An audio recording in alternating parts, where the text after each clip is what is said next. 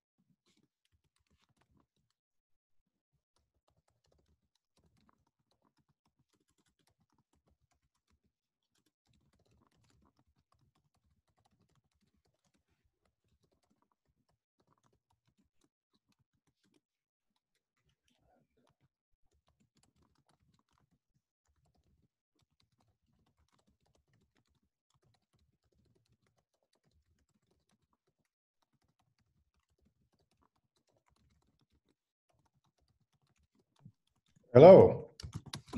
Well, hello there. You can hear me. Very good. That's that's a treat. How are you doing? Good to finally meet you.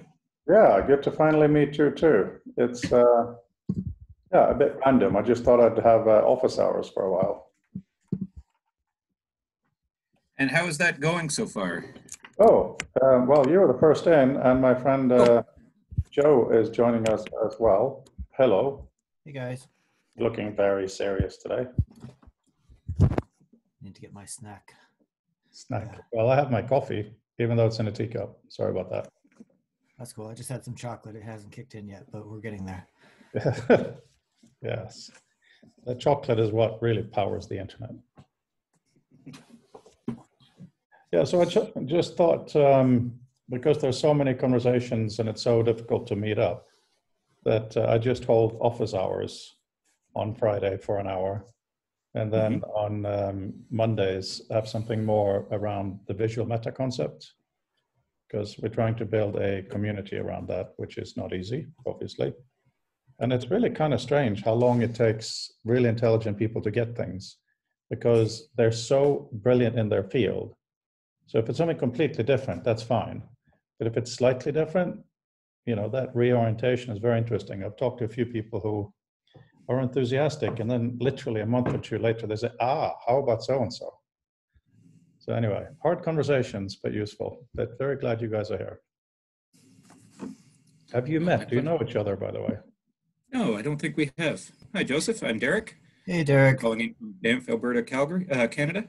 Alberta, yeah, that's a good place. Uh, cool. I'm in London, uh, so I'm just across town um, from Frode. But uh, you know, we we uh, couldn't meet in person today, so we do it online. So that's good. Um, Yeah. Plus, it's always fun to be part of the first ever, uh, you know, thing. So that's that's cool. Glad to meet you. Are you also involved with the University of Southampton in some way?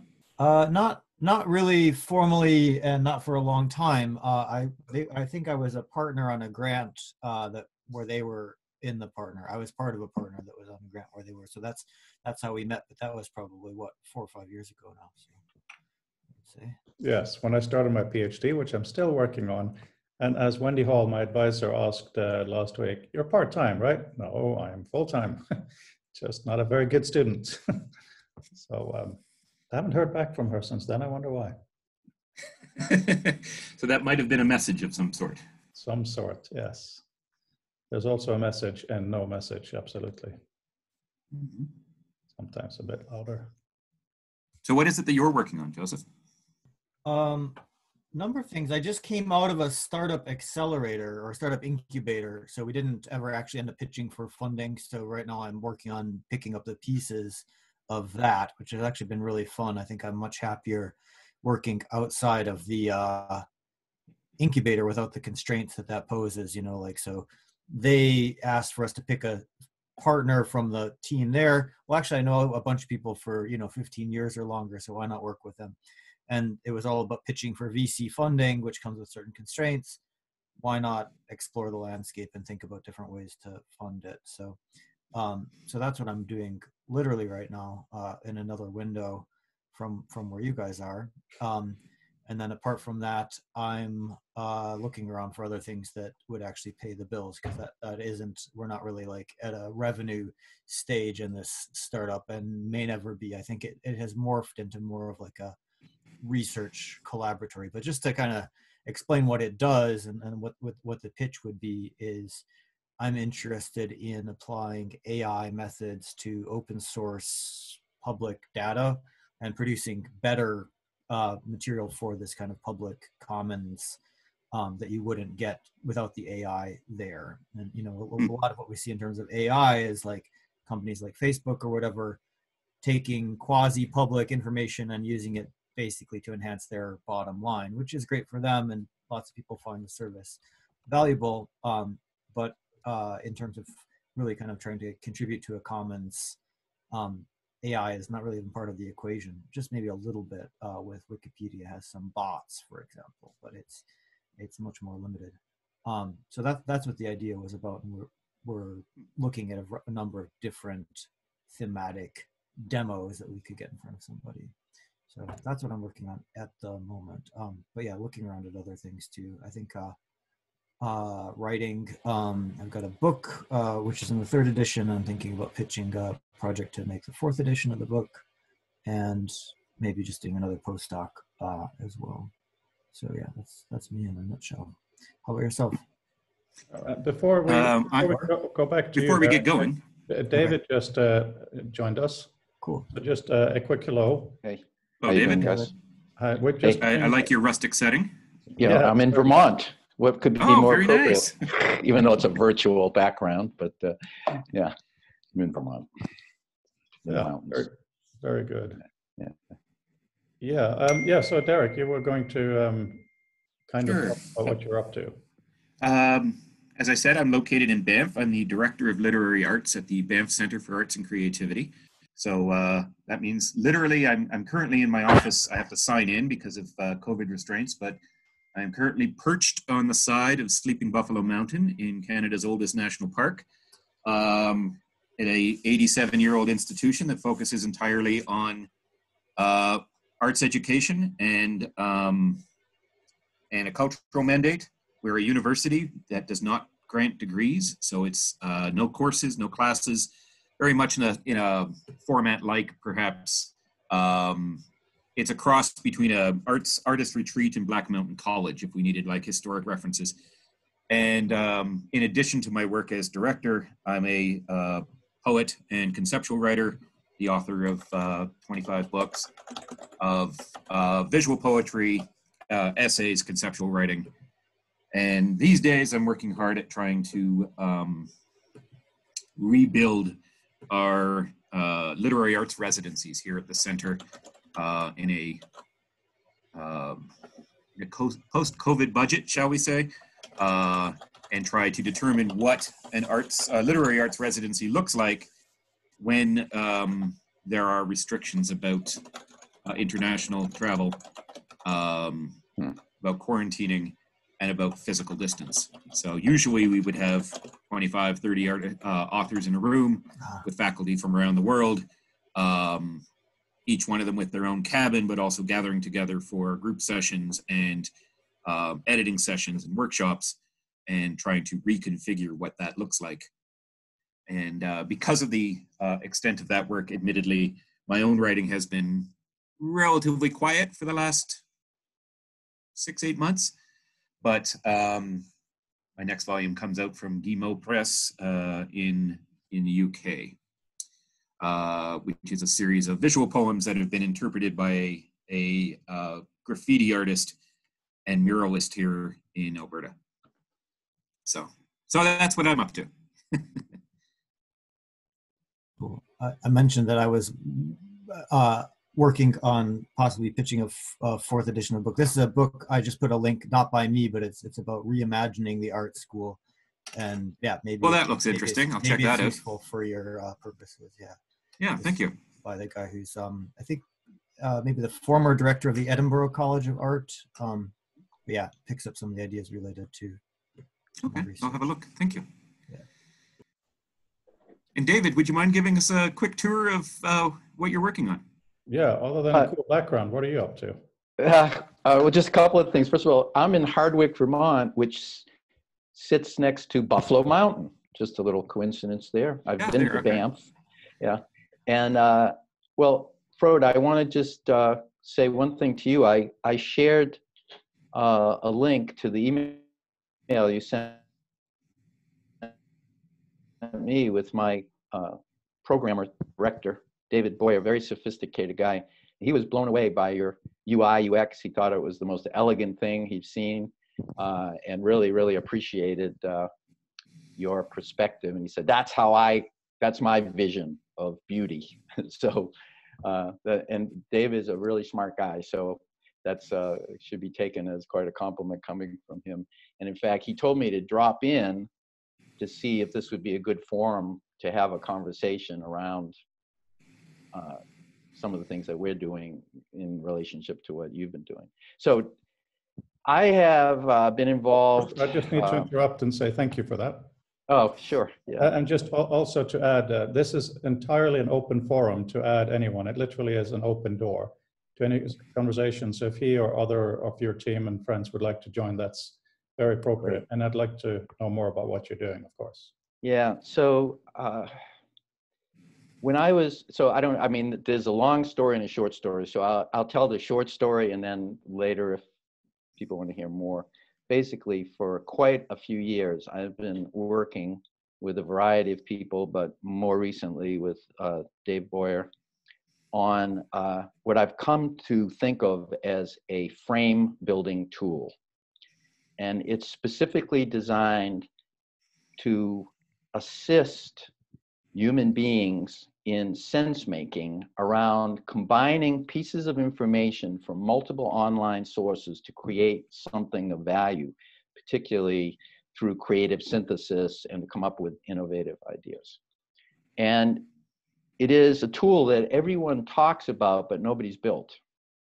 Because essentially, what we allow you to do is you import a whole bunch of documents, you highlight, you comment, you can do it with other people, and then you select specific fragments of text from 10, 20, 100, 500 documents to uh, the right margin of the page, which can be represented in many different ways, with instantaneous links back to where each piece of information came from.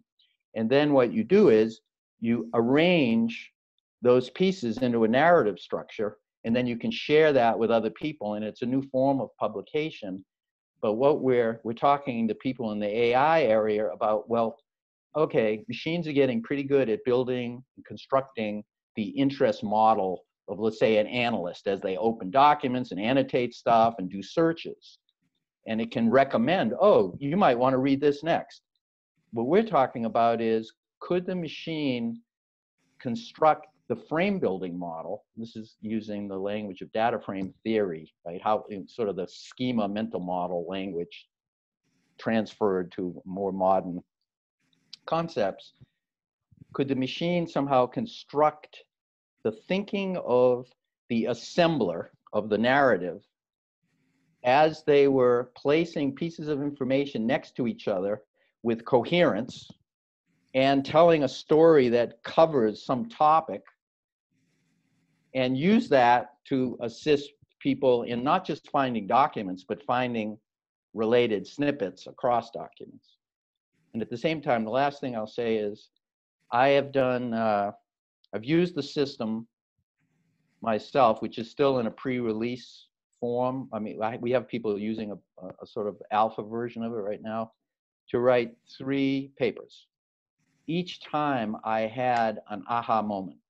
And so what I'm proposing is, this is really kind of fascinating, and then I'll shut up, is that this idea of, you know, you come into a space to study a topic with the idea of, you know, what new idea might surface through this effort. And people talk about developing fluid and crystalline knowledge, right? You get to the point where A, you can actually come up with new ideas within the space because you've informed yourself enough, you've prepared the mind in Pasteur's sense for that moment of insight, and you have this crystalline knowledge where you've linked your current knowledge to what you already know sufficiently that now you're you're in a position to actually be able to do something within this space that might go beyond just verbally repeating what other people have said. And what i you know so if you think about that oh chance favors the prepared mind. When does that point occur? Is it all incremental? Is it an accretion process? You just need to keep going? And my experience surprisingly to me has been no it's a phase change. So I've been working on a particular project involving reading about, you know, going through maybe 30 or 40 research articles, five or six days of arranging these pieces of information into a narrative. And I'm still, yeah, this is related, but I'm not sure. My comments were sort of weak. And then I get up one morning and all of a sudden, bang, it all makes sense. It's like a light went off. And so there's this sense to me of if you stick with something long enough, which is really a problem these days because a lot of young people don't have that ability to concentrate. You know, they don't even have the brain circuits. You can achieve, you can go beyond your expectations. So that's that's what I've been doing. I'm very fascinated by how you talked about phase change. Uh, obviously, I'm interested in the notion of liquid information. And when I first met Doug Engelbart, our very first sit down together, where he talked about his vision, which is the same as mine, except a million times bigger. And he then, um, you know, sitting there physically electrified in my bones, never felt anything like it until last Friday when I had heart surgery. but that's other electricity. Yeah. Wow. um, and then he asked me about the liquid thing, and I said, yes, the whole point is to make information liquid and the processes, but not to get there because if it's completely liquid, it's useless as if it's completely frozen. So when you talk about the phase changes, I'd like to hear more about what you have to say because poetically it gives a sense of um, being on a different plane or something, but I'm sure you have something more specific about that, I guess. So I can give you an example okay. that might illustrate the point. So, you know, I my product highlighter is it, we it initially came out of academia and we realized that working with academia was not an easy thing to do to get a product to market we started a business with actually the former president of florida state university this guy dale lick who's been, with him now many years um, so um, the uh, some of the people i worked with worked with the people at uh, uh, Klein and Hoffman that did the work on data frame theory, right? So that's one piece. So here I have a lot of, I've read a bunch of articles, a lot of familiarity. And now I'm trying to characterize what is Highlighter? What have we built? Because it is a unique application, this thing of, and it's incredibly complicated under the hood. It looks like it's doing something simple. Oh, I'll take this piece of this fragment of text and this comment that's in this document, I'll move it over here. And then I'll go to another document and another document. And now I've got this collection of snippets and comments with links back. And now I'm going to rearrange them and create some kind of coherence between the JSON highlights that tells a story. So I started to uh, look at, think about Highlighter as a thought processor. So, oh, this is first in class thought processor, right? It's allowing you to somehow work with ideas from multiple documents and arrange them into different orders, uh, different order. And then I had, you know, the concept of collaborative sense making, right? That, oh, this is an extension of all this stuff around sense making, except it's document centric sense making when you're trying to combine pieces of information from many sources. And then I looked at uh, extended cognition and the idea of um, oh, this is an external memory technology, right? Because it allows you to, you know, it, it, a lot of people, when I've talked to them, they say, well, I read all these articles, but I can't remember what I read and where it was. I said, well, here's Highlighter. That'll allow you to kind of create this, extend your short-term memory by having this place where you can hold all of these ideas with the ability to go back to where they came from instantaneously, very quickly, and, and update your comments and so forth. And so uh, about uh, two weeks ago, or three weeks ago, we did a demo for this guy, Chris North, who is at Virginia Tech, and he's one of the leaders in AI, large arrays, and visual analytics. And I suggest, if you're not familiar with the SAGE project, S-A-G-E, definitely take a look at it. Very cool stuff. It because it's about how do you use wall size arrays with AI and visual analytics to promote sense making and thinking and analysis. And because uh, it's kind of funny, I mean, everybody wants to do things on their little phone, but we're in the age of information overload. So why would you want smaller? Okay. There are, there are some. To answer your question, I'm yes. setting you up now. This idea, you know, so the idea of things hiding in plain sight. Yeah. I, I started reading these articles uh, and uh, from Chris, he sent me four or five articles, and he has these concepts. It's using AI on small data sets to do using incremental formalism and semantic interaction. So the machine observes the analyst doing stuff, and it creates an interest model and uses semantic interaction to visualize it. Right. So I'm reading this stuff and so forth, and I'm writing comments, and I'm bringing, but it's not adding up to. You know, I'm sort of oh, I trust if I just stick with this long enough and use highlighter, I'll have my insight. And at one day after engaging enough, having, you know, read the articles, highlighted them, moved them over to the, what we call a high trail, a highlight trail, and then moving them around, the pieces around to try and arrange them in a, in a sort of storyline that other people would see as coherent, right? Because it, it is like almost a Turing test. you know, uh, except this is, you know, you can imagine a machine doing this as well. But right.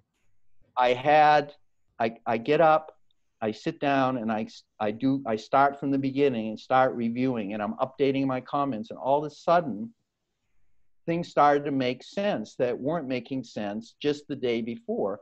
And the first idea was, oh, this is a frame building tool. Highlighter is about building, you know, so data frame theory is about how you either add new information to your current hmm. frame, your schema in the old terms, a mental model, and um, either update it, accrete, attune, attune it, or radically restructure it or restructure it because you have new information, that, right?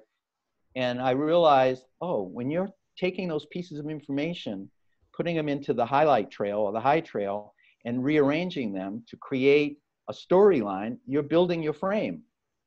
Highlighter is a frame building tool. Who, what other tool allows you to do that, right? And then I, so that, that was when I said, hey, how come I only thought of this now after working on this for 10 years, right? And it was because engaging with the content in a certain way over time prepared, made the connections so that I, and I had several other insights that followed from that. Absolutely. I mean, one of the things that's very clear in the conversations over the years with different people working towards the same problem you're working on, but of course in different ways, is our imagination is limited. We got to build and play and see what happens. Mm-hmm. Yeah. So I hope I wasn't too long-winded with that, guys. I'm No, sorry. no, I think that was a good frame, and it also I think shows quite a bit of commonality. At least I know with uh, Joe, um, a lot of what you're talking about uh, works along what he's been thinking about, what I've been thinking about, and I'd love to hear what Derek has to say on um, on this. Well, I think the the interesting thing to me is that those limitations of reading and of sense making that you were talking about. I think that that's in a lot of ways what holds poets in my side, uh, poets back, is a sense that, um, I mean, Frode, you just said that the idea that like some that you just have to make it and play and see what happens. Um, I'm surprised. I'm frequently surprised how adverse to risk poets tend to be and writers tend to be that the idea of creating something that is um, traditionally nonsensical or asensical that may not look or feel or sound like a poem um, is, is something that I, I think a great deal of poets are very adverse to. And the idea of uh, harvesting or copying information particularly off the internet, uh, is still, I think, seen, despite you know several you know decades of of, people arguing uh, the opposite. It's still seen as cheating. It's still seen as somehow um, non-poetic, a creative, and um, that poetry in particular is, is still very much stuck with stuck with the with the humanist and the personal. So if you're not talking about yourself, you're not talking about your emotions, and you're not doing the talking, you're not doing the writing itself. Uh, not it's it's not an issue of whether or not it's good poetry. It ends up being an issue of whether or not it's poetry at all, and uh, and for the most part, it's seen as no, no. It's uh, you know it's it's seen as widely um, dismissible as as copying and as harvesting as opposed to you know reading and you know the idea of using another tool to do your reading for you and to gather this and sense make it this is this is the future of writing this is what writing should be um but are i think in a great deal uh, for a lot of poets poets are still thinking that you know you have to write it for it to be yours you know like, So, well, let me literally. just point out that Yeah. in so it so this is the you, what's missing is this idea of generative learning, which is here's a mm-hmm. topic, here's eight perspectives from eight different authors. I Yeah. can look and I've juxtaposed these related ideas that would be very hard to hold in my head if I couldn't place them on this palette. And the process is here's what A, B, C, D, these different people say, linked to what I already know, here's a whole new idea.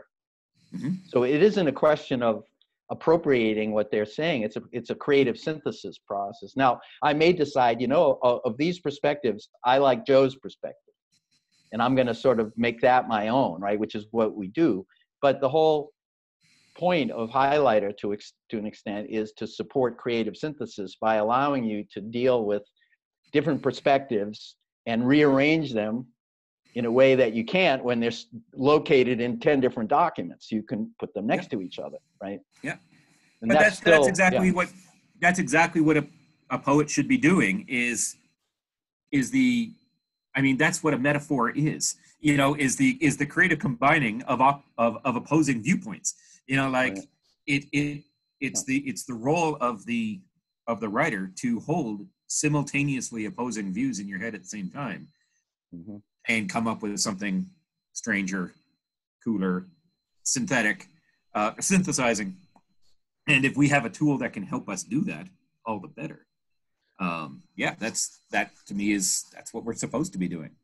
So, So this Derek, I would- sounds very very Yeah, exciting. I'm a bit shocked to hear what you have to say, but yeah, of course it's true. I mean, my background is arts. I went to Chelsea School of Art. I was going to be a visual artist until I had the realization that the only person who knows who an artist is is the artist himself. So that kind of shut that whole entire world down for me. But um, because there is, you know, in solving the world's problems, I just started reading this. Are you guys familiar with this book? Yeah. No, Memoir of- okay. Yeah. It's um, basically a Trump manifesto. Mhm.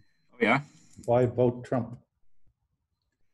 From an, um, a, very well presented perspective. And, you know, we're, we're sitting here, we're talking about what David's talking about with proper knowledge work, and we have to work on that. That's also my field. But if we don't take into account this stuff, which is almost outside, but hopefully not. I mean, I sent this PDF to you guys in the invitation as kind of a call to arms. And the point that I'm trying to make is that we need to learn to think better with tools, both for the obvious reasons, but also in general. So, uh, David, what you're talking about resonates with a lot of conversations I've had with a lot of people in California, particularly. No surprise there. But as you say, uh, not very much has been actually made. So I'm very excited to hear what you guys are making. And uh, even more than that, I'm very excited to create a community around this because for the 50th anniversary of Doug's demo, we did have a bunch of people working on stuff. But we got a bit um, sidetracked or hijacked by a, a, a faction, I will say nicely, who wanted to be all about graphs. You put your knowledge graph here, I put mine. We figure out something in the middle and we'll understand each other which Doesn't is work that way. No, it's not going to work absolutely. But it's a fine research thing. I'm sure some good stuff will come out of it. But it was so. Other stuff doesn't matter, so nothing really happened. Um, yes, So- but so, th- uh, there are some references to things. Have, have you guys seen this? Ah, ooh, exciting. That's I've seen only. well, well, well. Uh, Um, if the resolution was good enough, you'd see your names here. yeah. So, um, Looks oh, I gotta- fabulous. Can I can I do a little uh, show and tell while we're showing and telling books and judging them by? I've shown you mine. You can show me yours. Okay, so- Yeah. So we just mentioned about poetry, and I, I had to get this one off the shelf because there's a really nice classical Japanese poetic form, which is inherently collaborative, and uh, so that that's an interesting example of, of co-creating poems. And people were apparently about as obsessed with these as as contemporary folks could get about Go. In other words, that you know that, that that's all they would do is sit around composing these collaborative poems, and they'd throw expensive parties for their friends with you know all kinds of expensive. What's it called? Uh, the particular book is called uh, Renku Reckoner. The poetic form, I think, it's called Renga. I'm not quite sure why it's called Renku as a more modern appropriation, I guess, of the concept of Renga. But a Renga is it, it's kind of like linked haiku. So in this context, if we were doing this thing by Renga rules, we kind of go around in a circle and and link our haikus together to form a, a sort of riff, I guess. Sounds almost like something the Romans would do.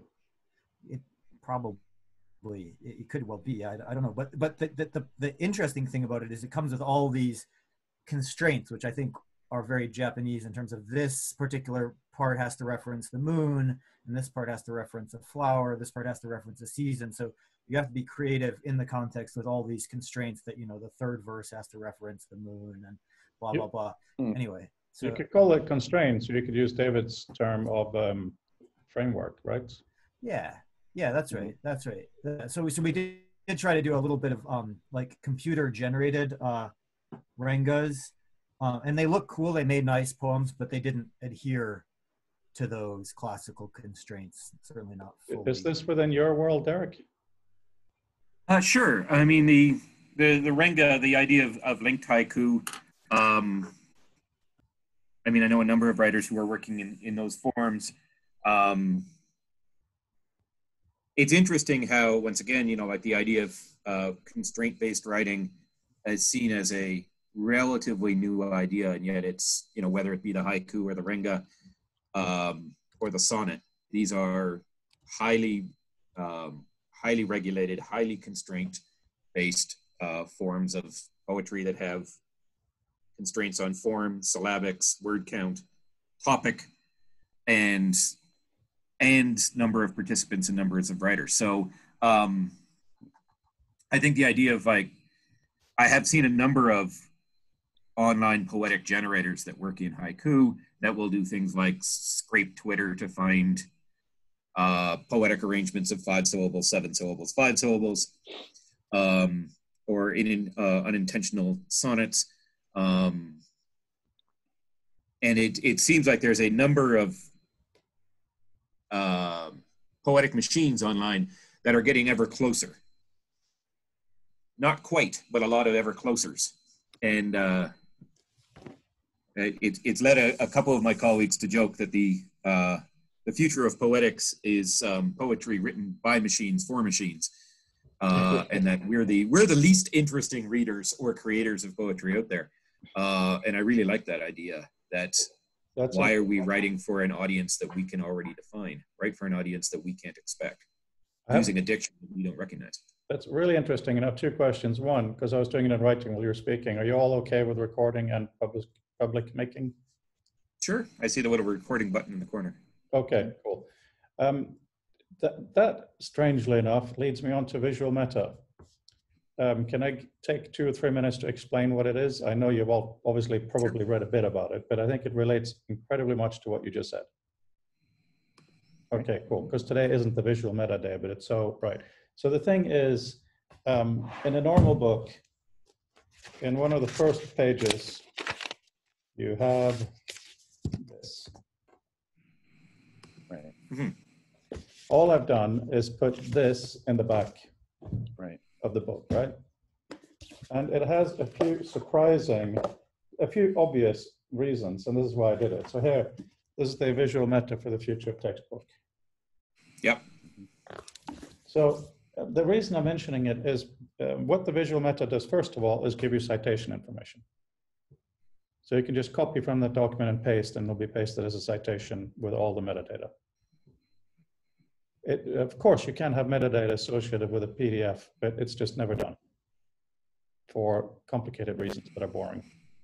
But what it also allows for is to give rich stuff to a flat PDF. For instance, it'll tell you what the headings are so you can fold the document. That's very elemental. We can also do what Vint has started calling computational text. So you can have a sentence last Tuesday, and you can tag that with a specific date. Which then, when you even print the document, it just says last Tuesday, but in the visual meta, it says in this location, last Tuesday means certain date. So the whole point of visual meta is that the metadata is at the same level as the text, which is why I call it normal text that's magic. I've thought of a lot of kind of intellectual and knowledge work sides of this, but for poetry, to be able to mark up your own work and to give it different things and then have it in a flat form, but have different interactions based on what both you and David were talking about. That's a bit different. Mm -hmm. Yeah, Especially and certainly reaches beyond just an embedded hyperlink. Hmm? What's that? and it reaches beyond the idea of just an embedded hyperlink or you know like you know last tuesday link and you get the news for the new york times that day you know that kind of simple structure Dave De Roure um, who is part of my uh, future text initiative uh, advisory he said that what it is is when they were working on hypertext in the 90s uh, i'm not sure if you know uh, Dave De Roure he's big at oxford and so on and joe, joe you obviously know him um, he said that it was, at that time, they didn't want to have links or formatting embedded, so they would have it separate. But, so what he calls visual meta is a package where they are separate, but they just happen to be in, the, in a package that is the document. So any text can have a myriad of things as behind it or not. But from a poetic perspective, and you know, David, you were talking about phase transitions and, and different views uh, very interesting. Anyway, I just had to drop that in there. So just a quick observation. Uh, so Dave looked at the, your visual meta and said it's like having a barcode, but the barcode has the information in it. So it's both it's a barcode that a human can read, but also a machine can read. So it gives you this flexibility. The, I, I just want to throw in a far transfer thought to what we've been talking about, and that is uh, team science. So I know uh, this guy, Michael O'Rourke at Michigan State, and he figured out, he put together this workshop for large teams of scientists. So this is somewhat related to this multi poet building, poetry building thing, right?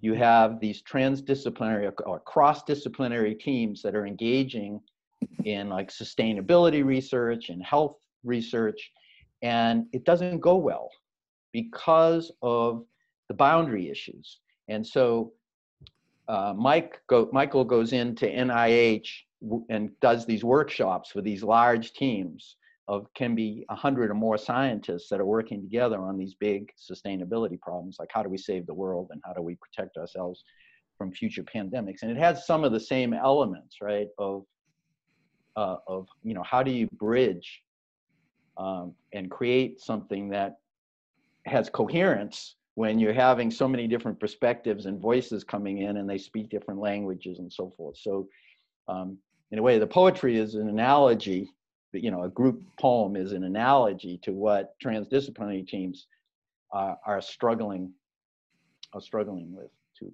And and one of the ideas in Hylighter is to create uh, a cross-disciplinary uh, concordance, so that when you look at a word, you get a hytrail that shows exemplars of that word across different fields. So it's not a definition; it here's how practitioners use that term as a tool of the trade to express, uh, communicate something uh, of value and so forth. But it just going back to your overall concern for the state of the world and where things are going, we need to be able to work across disciplines much more effectively than we're doing today. And there's a whole science of team science uh, that's emerged as a field that's studying that. I've been to a couple of their uh, yeah.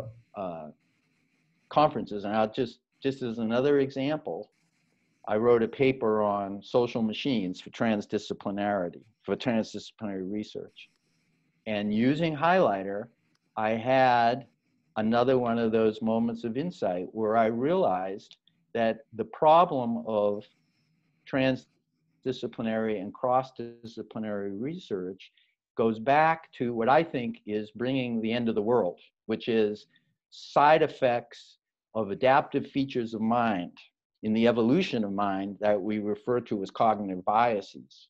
Except in the disciplines, cognitive biases became sanctioned.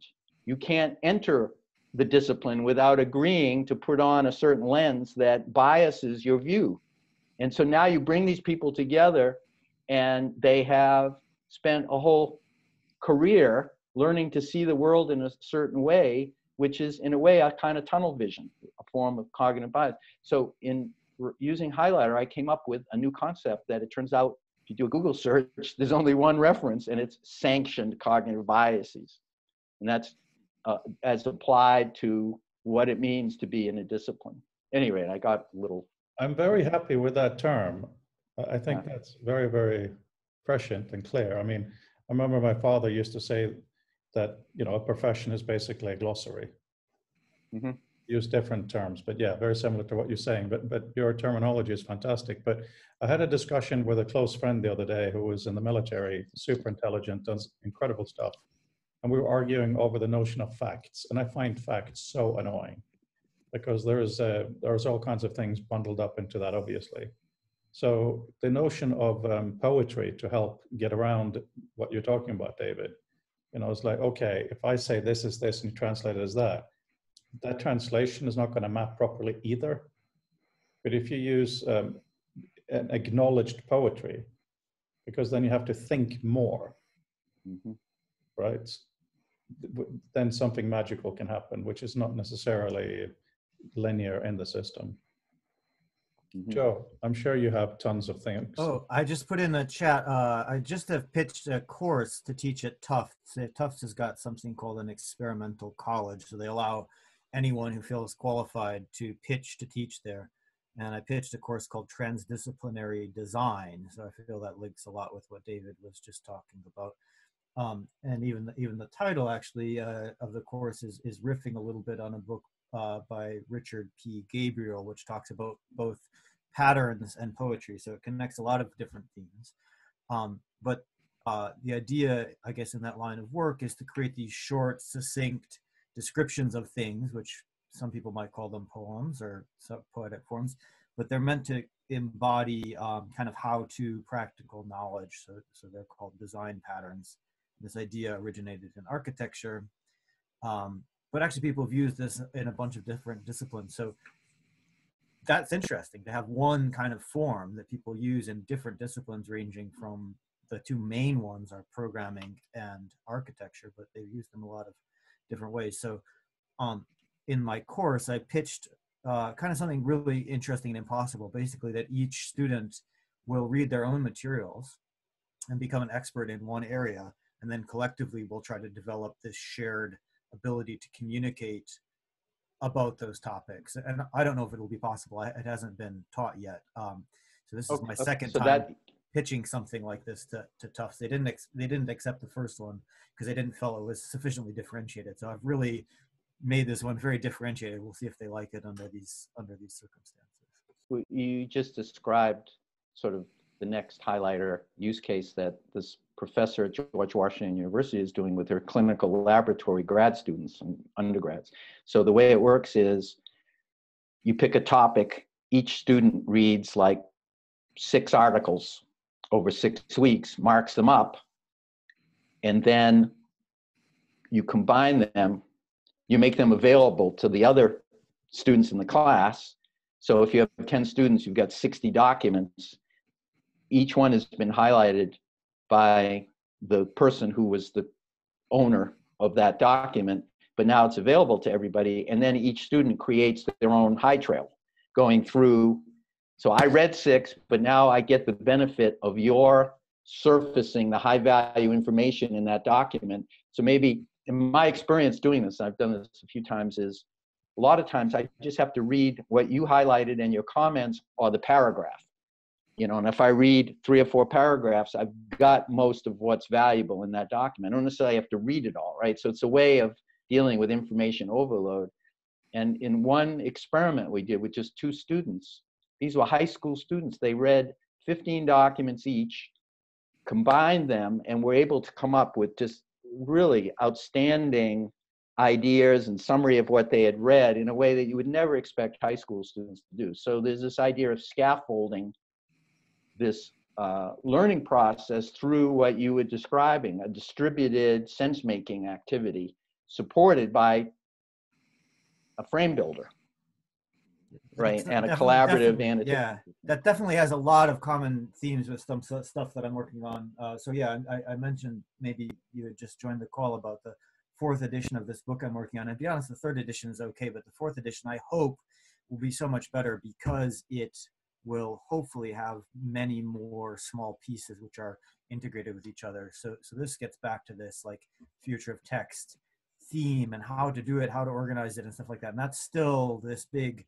um, I don't know what the right word is, uh, uh, hodgepodge, I guess, um, crucible. I don't know, something between a hodgepodge and a crucible of ideas, which are, which are uh, still forming somewhere. So, mm-hmm um, anyway, stay tuned about that. Uh, if, if, if, there's a way to, to share, I guess, will you, will you guys uh, come along to a future of these things? I, I hope that we'll be able to stay in touch given common themes of interest. So maybe I'll see them. I would hope so.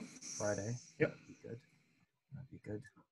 Um, I'm, uh, so were, were you going to keep this to a full, to an hour exactly? Or? Yeah, roughly. I just wanted to mention uh, two small things. One is just send a screenshot because on the that page there, I know it's nothing to do with what you're talking about, but the little anchors to the side of the headings. Yeah.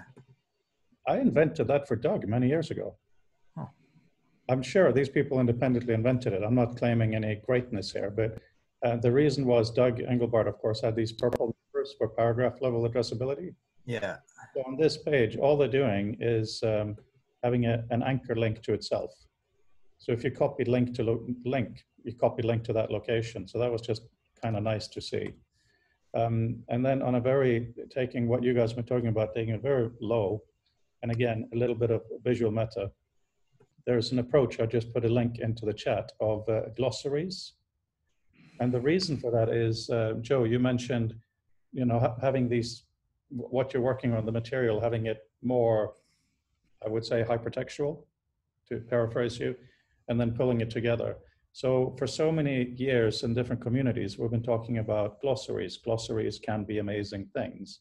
And then, as I'm sure you've gone through exactly the same thinking we have, where do you put the definitions? Is it in the document or is it somewhere else? How do you make sure they're updated or should they not be updated? All these issues. So in this um, uh, link, if you just have a quick look at the screenshot so we don't waste time reading it. Um, imagine in Author or any other word processor, you write the word dynamic view, for instance, and you realize, I don't want to define this every time. So you select it, you do Command G, gives you a dialog where, command, where dynamic view is the term, and below that, you can write a definition. The reason it's editable in the term is because it could have maybe an acronym or something else. All that then happens is that the system, when you click save, if you haven't already got a normal glossary heading at the end of the document, it creates that and adds this where the, the term is in bold, the rest of it is not bold. That's it. So it's plain text. Anybody can read the glossary as part of a normal PDF. The only difference, and if you please look at the last screenshots, which is a bit tiny, is that in all the software that I use, and I'm sure similar things, you select text, you do Command F, and it does a search. In Reader and Author, what it does is show you all the lines with that text in a folded view, so you can instantly go out. You don't have to scroll through the document. So the bottom half of it is that, not super fancy at all, but the usability thing is that if this term is also bold and glossaries, it's listed on top. Hmm. So the Yeah. user doesn't even need to know if it's a glossary term or not. It's just another way to find out. And then finally to say, you make a new document, copy the glossary section into the new document, you got it. Edit it if you want, edit it not. It's just a way to try to keep things extremely simple, having spent so many years trying to make it extremely not simple. So, so, so this is great. I would say at the risk of complexifying something that I, I genuinely think is great, partly because it's simple. Another level on top of it that could be kind of fun would be to surface other glossary terms besides the one you're looking for. Supposing that with I search for dynamic view, and you happen to have, say, mentioned future of text, for example, in one of these other paragraphs, and that itself has a glossary term. Your glossary section could expand, you know, like those cards or something, and say, okay, well, here's dynamic views, what you're searching for, but actually you've got a kind of time machine like level of depth that now we're pulling all these other cards, which happen to be surfaced by the same, um, what is it called? Well, this is also where the searching for in poetry comes into it because this little dialogue can have whatever fields you want. So you could define relationships or whatever. That's entirely, uh, you know, in Doug's uh, NLS and Augment, there were various user levels. You could unlock different levels. You could have custom things. So when you do the Command F and it shows you that, it can show you with a huge amount of relationships that are, and this is so important, in the glossary, it's just plain text.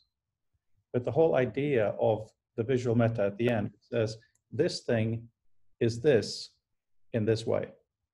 So that's why we, when we did the dates thing earlier, it can't just say 7 slash 23 slash 2020, because is that European or American standard? It has to say what it is. Right? So for instance, it could say, this is a part of the moon in Japanese poetry for this.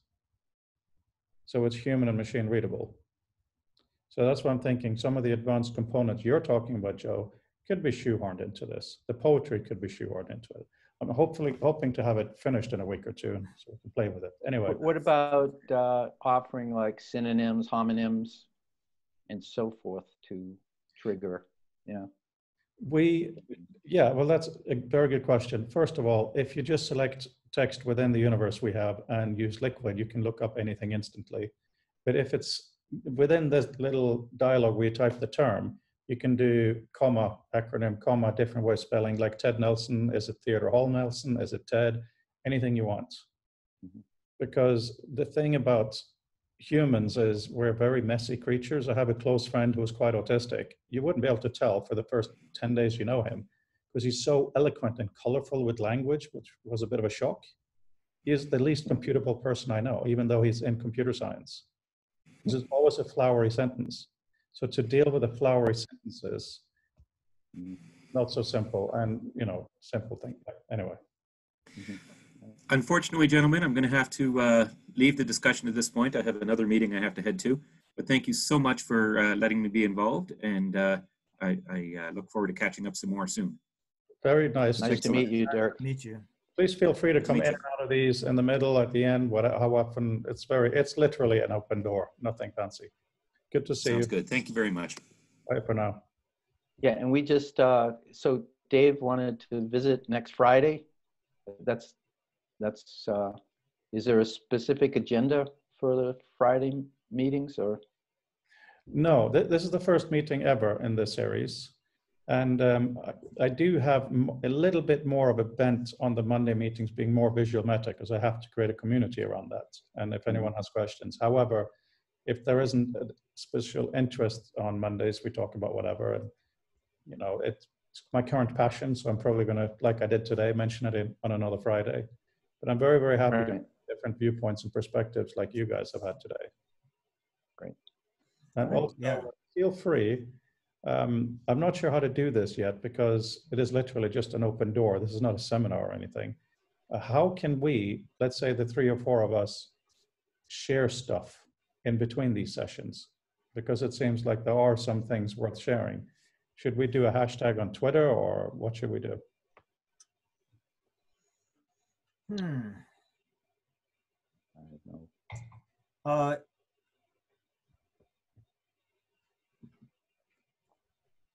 I mean, Or, or should we blog or should we try to build some sort of a mailing list? It's just, I'm really, really concerned about not bothering people. Some of the people in the book are a bit prickly about being contacted. Uh, and some are kind of the opposite. So it's hard to know other than people have shown up. Mhm. hmm. You both use Twitter?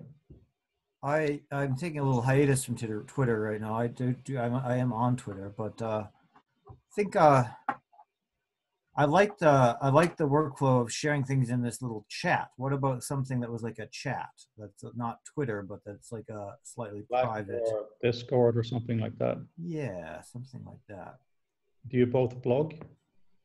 I am just starting. That's one of these post startup things. We have another uh, blog where we're kind of putting some of our um, kind of relatively polished pieces on that blog. So that's going to be getting going. I'd be happy to feed that in someplace else. I think it would relate to this. But you see, then the thing is, it's it's not really focused on this discussion or this community. Uh, but I would be happy to share it. That's the nature of the blog. Let's just keep it in the room where it happens for now. Yeah, something like that. Hang on, does that mean both of you have not seen Hamilton? No, I haven't seen it. I haven't, but I guess I recognize your reference. Yeah, slightly. No, I know all about it. It's because it's been in the media so much, but I have not seen it yet. Oh, you're so lucky. You have the first time coming. Yeah, it's really that good. Uh, yeah, it, it is life changing, which is Really? astounding because it is the stage is nothing. It's just a backdrop. Yeah. Uh, the music is, is nice, a little bit of hip hop, very much of it is just normal musical. There's a little bit of a love story kind of thing. Um, but the, the most powerful line in the whole thing is, and that's when the experiment of America happened. Mhm. You know, you guys are American people. You know, we're sitting over here looking at America as a beacon of all kinds of things, and currently it's a house on fire. Not that Britain is doing anything better. So to be watching it at a time of Trump is um, quite a moving experience. Yeah, no, I, so I, I- I mean, the Greeks had a lot to say, ancient Greeks, about people who get into positions of power that they would have been fine if they just stayed in their shoe shop or whatever it was, but they get to be king, like Creon in Antigone, right? And they can cause tremendous havoc. So here, for a variety of reasons, people in this country have elected somebody with a very serious personality disorder, I mean, there's just no other way to describe what what this guy is is is about. And what uh, I'll just just real quickly, my view of this is what what we're seeing. I, I don't know if you know Sheldon Wolin's book Democracy Inc., but it's sort of the classic political philosophy book. Basically, this country has become what he calls inverted totalitarianism, that through the gift, that is the money that the corporations and oligarchs have given to people in office and the promises of payoffs and when they get out of office, we essentially have a government that is owned by oligarchs and corporations that are driven by a sociopathic uh, obsession with profit. And then you combine that with a whole bunch of ways the mind works to favor in group uh, uh, affiliations and so forth and so on. Uh, you know, we're on our way to global ecocide, you know, and it's just, uh, so that's, you know, in some ways, Hylighter is an effort to try and maybe have more evidence-based kind of decision making and and so and, and i here's just the last thing i'll say is donald trump like steve jobs what's the what's the connection there? Steve jobs was described as being able to create a reality distortion field that sucked in the people around him to some extent to be able to go beyond what they thought was possible. And i think donald trump has yes done the same thing, created this reality distortion field that has sucked in a lot, you know, 40% of Americans. It's I just sent really you a something to screenshot. watch. I just sent you a screenshot of the, uh, of lyric from Hamilton. Okay. I think you will both cry when you hear this bit, when you hear it in the show. It's Huh. when Washington Yeah. steps aside. And you know how monumental, just like you said, how monumental it was when he did that. It's, it's wonderful. Anyway, I'm afraid I also have to uh, toodle. Um, I have to pick up my three-year-old son, which is of course very important. Well, it's the best part of the day anyway. Um, thank you very, Good for you. and hope to see you on Mondays or Fridays um, anytime. And of course, feel free to text or email or anything. Uh, yeah, thank you again. Cool. Yeah, great. Thanks for having us. See you later. Yeah, later. great to meet you guys in person. Have a good weekend too as well. Bye. Yeah. Bye.